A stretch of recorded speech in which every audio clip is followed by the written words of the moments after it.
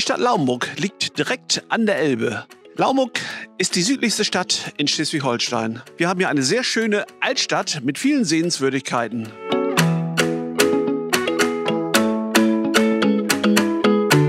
Wir haben ein Künstlerhaus und wir haben unter anderem auch ein Elbschifffahrtsmuseum. Und das liegt hier.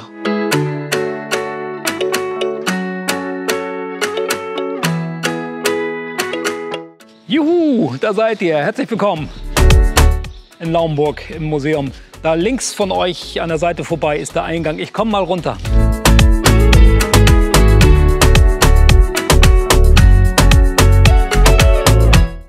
Moin Moin hier aus Lauenburg. Wir befinden uns hier vor dem Elbschifffahrtsmuseum. Ein ganz tolles Museum in der Laumburger Altstadt, direkt hier neben der Kirche. Neben mir steht Jörn Bohlmann, der Leiter des Museums. Und der möchte uns heute mal das Museum zeigen. Jörn, alles gut bei dir? Können wir starten? Alles in Ordnung. Kleiner, schneller Rundgang durchs Museum. Dann gehen wir mal rein. Juhu. Und hier geht es auch gleich los, Jörn. Hier ist der Eingang. Wenn man also das Museum besucht, kommt man rein. Und äh, ja, muss hier eigentlich rein, um sich ein Kärtchen zu kaufen. Genau, hier ist die Touristeninformation und da kann man auch die Tickets kaufen für das Museum. Und das sorgt dafür, dass wir ähm, sieben Tage in der Woche geöffnet haben. Jawohl, Okay, kein Tag geschlossen. auf ins Museum. Jawohl. Das Laumburger Elbschifffahrtsmuseum hier in der Altstadt hat natürlich Geschichte. Jörn, erzähl uns ein bisschen was über das Haus. Seit wann gibt es hier das Museum? Ja, wir sind hier also in dem alten Rathaus. Wir gehen mal rüber gleich, dann können wir das ein bisschen im, äh, im Gehen erzählen. In dem alten Rathaus der Stadt von 1743. Und hier ist vor knapp 100 Jahren, 1927, das Heimatmuseum eröffnet worden. Und das ist dann Anfang der 60er Jahre zum Elbschifffahrtsmuseum geworden. Und ich bin da ganz froh und stolz, weil das ist ein richtiges Themenmuseum zur Elbschifffahrt. Und das gibt es in Deutschland tatsächlich nur hier bei uns. Gut, über die Geschichte der Elbschifffahrt äh, steigen wir später noch. Da steigen wir noch später ein. Äh, Gibt es noch viel zu berichten. Das ist ja der erste große Flur. Was sehen Genau, wir hier? das ist ähm, der alte Rathauseingang. Da war das früher auch der Haupteingang des Hauses. Und hier fängt Uwe Franzen, das ist unser Museumsgestalter, schon an, die Geschichte zur Elbschifffahrt zu erzählen. Und das, was äh, vielleicht ein bisschen unkonventionell wirkt, erstmal auf den ersten Blick, ist, dass er damit anfängt mit so einem Muskelmann. Da fängt er nämlich auf, wie viel Kraft, wie viel Energie kostet das eigentlich, äh, so ein Schiff zu bewegen, was es Fracht, wie viel Energie steckt denn da drinne.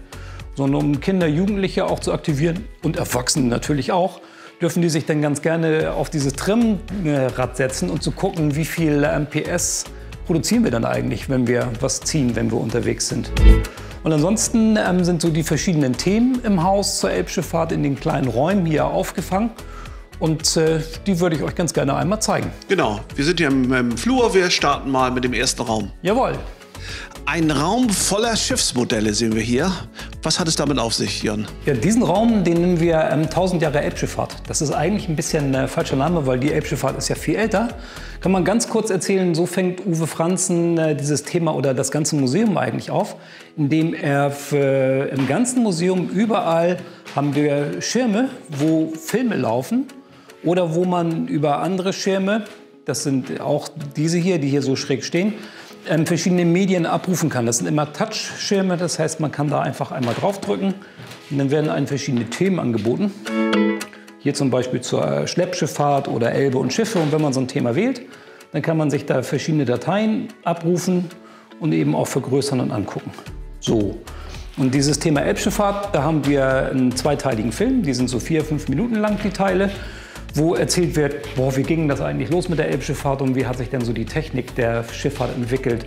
Und das wird gezeigt in diesen äh, Vitrinen. Die Modelle sind alle im gleichen Maßstab, das heißt, man kann die ganz gut miteinander vergleichen und kann da eigentlich chronologisch ähm, verfolgen, wie sich die Technik entwickelt hat. Und das Schöne ist, dass Uwe, also Uwe Franzen, der Museumsgestalter, das so liebevoll gestaltet hat, dass wenn es hier zum Beispiel um das Segeln geht, dann gehen da oben auf die Vitrinen diese ähm, Ventilatoren und man kriegt so ein bisschen Wind ins Gesicht. Da, da sind so viele kleine liebevolle Details. Ja, sehr schön. Von, sehe ich gerade, 1816 oder noch früher, von 982 die ersten äh, Lastkähne bis hin, ja, eigentlich zur Schubschifffahrt. Alles vorhanden, alles in Modellen dargestellt. Ja, Toll, über, toll ausgedacht und toll umgesetzt vor allen Dingen. vom Einbaum zum Atomschiff, ne? So. Ja, dieser Raum. Wollen wir gleich rüber zum nächsten? Schneller, kurzer Durchgang? Dann los. Liebe Zuschauer, in diesem Raum, ja, läuft man direkt auf ein äh, Bildnis, auf ein, wie sagt man, auf eine darstellende Kunst hin. Ja, was hat das mit, damit auf sich? Das sind die Treidler. Früher, als man die Schiffe Strom aufbringen musste, da konnte man entweder segeln oder die eben halt ziehen. Und die Leute, die es gezogen haben, waren die Treidler oder die Bohmetscher. Und das waren äh, verdammt lange Wege, weil mit dem Strom runter ging das mit den Flößern, eben halt durch den Strom. Aber gegen den Strom musste man äh, halt entweder segeln oder ziehen. So, und in dieser großen Karte in dem Raum wird gezeigt, wie lang, wie groß die Elbe eigentlich war und äh, wie viele verschiedene Interessen damit verbunden waren, weil als die ganzen Güter die Elbe runtergingen, Holz zum Beispiel geflößt ist, da waren so unglaublich viele kleine Orte oder auch größere Städte, die Geld damit verdient haben, Zoll zu nehmen. Das wird hier gezeigt. Einmal, wie viele Länder damit äh, verbunden waren, also wie viele Reichsinteressen damit verbunden waren und wie viele Zollstationen. Eine Fahrt, die früher irgendwie in einer Woche gemacht werden konnte, die hat durchaus vier, fünf Wochen gedauert wegen des Bürokratismus, der damit verbunden war. Früher wie heute, ne? Und ansonsten wird in diesem Raum ein bisschen die Geschichte erzählt, wie die Elbe vertieft wurde, als nämlich die Dampfschifffahrt aufkam, war auf einmal das wirtschaftliche Interesse da, weil das alles viel wirtschaftlicher sich machen ließ. Das wird in diesen Räumen erzählt, wie die Kanäle gebaut wurden, wie tief die Elbe wurde, wie sie ausgebaggert wurde, wie man Hindernisse entfernt hat. Auch das wird wieder ähm, in verschiedenen Filmen gezeigt oder in diesen Medienstationen. Und äh, ja, kann man sozusagen sich selbst erstöbern hier in diesem Raum. Genau, hier noch eine äh, besondere Ecke hier ist die Palmschleuse dargestellt. Was hat es mit der Palmschleuse hier in der Nähe der Elbe zu tun? Ja, von dem Stecknitzkanal früher, der ist 1398 eröffnet worden. Da sind wir richtig im Mittelalter. Und äh, das ist also der erste Wasserscheidenkanal in Europa, den wir hatten. Das heißt, man brauchte Schleusen, um Gefälle äh, auszugleichen. Und die Palmschleuse hier ist also tatsächlich in Lamburg immer noch existent. So eine alte Kammerschleuse. Die Geschichte der Elbe ist natürlich Trumpf hier im Museum, aber auch Geschichte Lauenburgs. Womit haben wir hier zu tun? Hier geht es um die Schipperhöge oder beziehungsweise um die Schifferbrüderschaft. Eine Vereinigung, die im Dreißigjährigen Krieg gegründet wurde und eine Tradition aufrechthält, die heute immer noch existiert. Bald 400 Jahre. So, das wird hier gezeigt.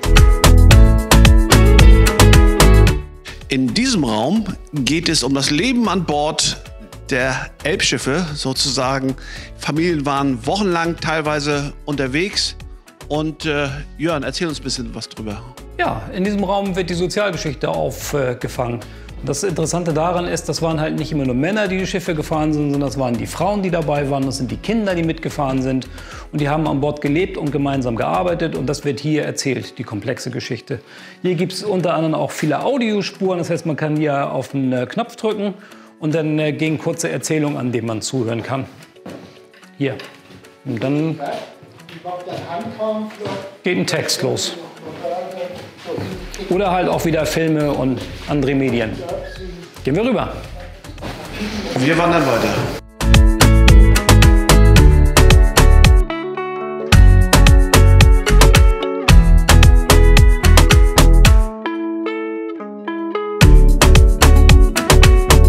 Weiter hier im Museum. Jörn, wo befinden wir uns hier?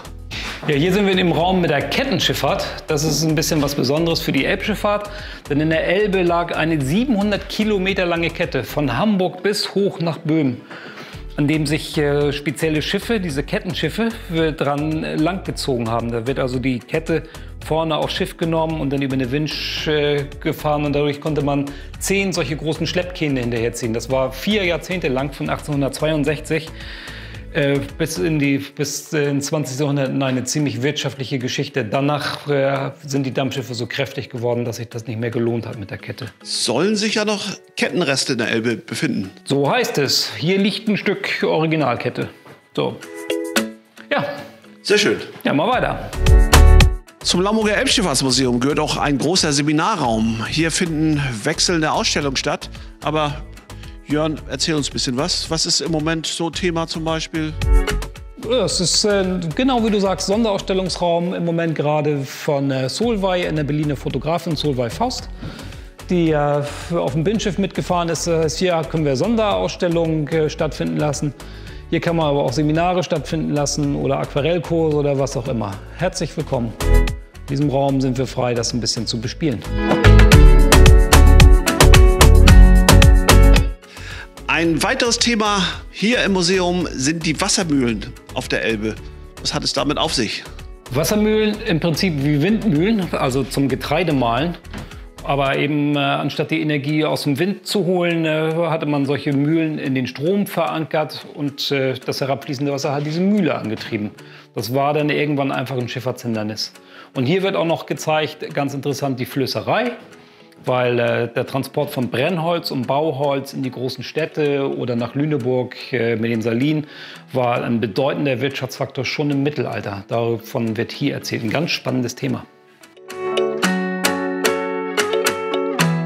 Hier sind wir in dem äh, Hoch- und Niedrigwasserraum. Hier wird gezeigt, wie ähm, Hoch- und Niedrigwasser auf der Elbe ähm, äh, die Wirtschaft früher betroffen hat, die Städte auch betroffen haben. Hochwasser konnte eine echte Katastrophe sein, weil die Stadt ähm, absäuft und Niedrigwasser war eine Katastrophe, weil äh, die Schiffe nicht fahren konnten, die Leute ihren Verdienst nicht hatten. Da um dieses Thema geht es in diesem kleinen Raum, einer der kleinsten im Museum. Und dann gehen wir mal rüber. Die Raddampfer auf der Elbe sind ein ganz besonderes Thema gewesen. Auch heute noch kann man viel darüber erzählen. Ja, die Passagierschifffahrt in diesem. Es ging halt nicht immer nur um Frachten, es ging auch darum, die Menschen zu transportieren.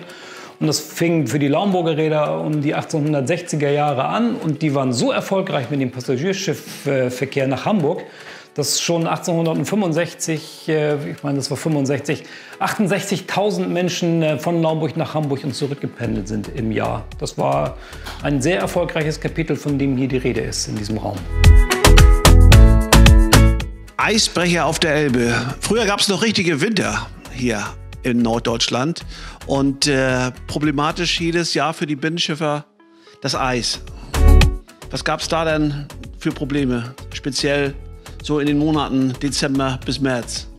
Ja, Eis hat äh, den Verkehr behindert. Das heißt, da war die Frachtfahrt nicht möglich. Vor allen Dingen war Eis ein großes Problem, weil wenn es denn geschmolzen ist und viel Schmelzwasser von äh, oberhalb kam, also oberhalb der Quelle oder von der Quelle, und sich aber so ein Eispropf gebildet hat, hat es also richtig große Katastrophen gegeben. So sind ganze Dörfer wegrasiert worden. Das heißt, es geht nicht nur um diese Schifffahrt, sondern es geht auch ein bisschen um die ganze Geschichte, die dahinter mit verbunden ist. Und das wird in diesem Raum erzählt von dem ich finde, hier fühle ich mich immer am allerwohlsten. Das ist so ein kleiner, gemütlicher Raum mit so einem schönen alten Sofa.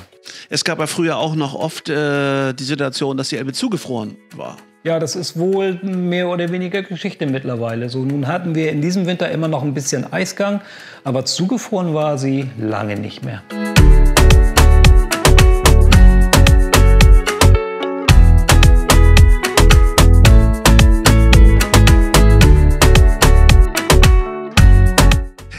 Im Gewölbe des alten Rathauses befindet sich heute die Schatzkammer der Schiffsantriebe.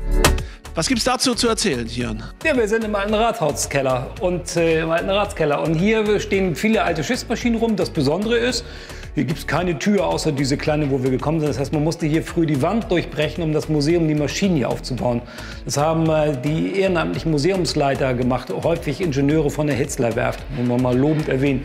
Wir haben hier was ganz Tolles gebaut und unter anderem ist hier so ein einzelner Motor, der von der Hitzler-Werft konstruiert und gebaut wurde, aber nie in Serie ging. Das ist ein Einzelstück. Das steht hier und wir gucken mal ein bisschen weiter, weil es gibt ein paar interessante Dinge zu sehen.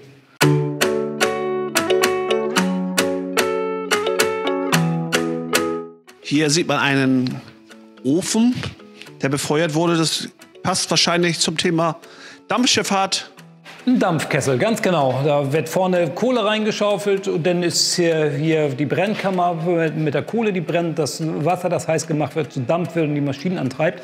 Auch wieder ähm, alles medial aufgearbeitet. Drücken wir einen Knopf, läuft der Film los. Lassen wir jetzt mal, können wir nicht weiter reden. Und was dann ganz interessant und ganz spannend ist, das äh, Besondere an diesen vielen Maschinen, die hier sind, die sind nicht einfach nur tot, sondern äh, die sind auch lebendig, weil die sind elektrifiziert und mit einem Schlüssel kann man sie äh, starten. Das heißt, man sieht hier zum Beispiel so eine alte Schaufelrad mit so einer liegenden Maschine. Die Schiffe waren sehr flach. Das heißt, man konnte die Maschinen nicht endlos tief bauen, sondern musste sie ja, anpassen an die Gegebenheiten auf dem Fluss. Tolle alte Maschine.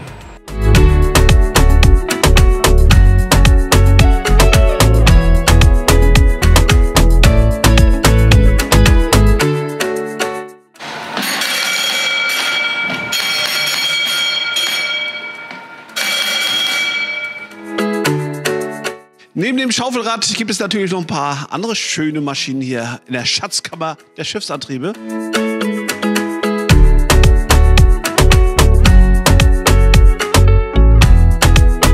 Ja, wirkt ein bisschen wie eine Wiederholung. Das ist äh, eine schräg liegende Dampfmaschine von einem Prager Dampfer, die Bad Schandau, die 1908 äh, gebaut wurde. Auch die ist äh, elektrifiziert, die kann man anschmeißen und kann man eben halt eine ganze Menge interessante Technik und physikalische Effekte mit erklären.